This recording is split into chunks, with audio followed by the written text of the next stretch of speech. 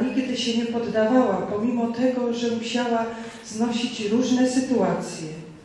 Dzisiaj będziemy się cieszyć tym, że święta Barbara jest z nami, nas wspomaga jako lud Śląska, a nade wszystko, przede wszystkim jest w tych trudnych sytuacjach, kiedy już górnicy i inni z zawodów niebezpiecznych odchodzą, przechodzą na drugą stronę.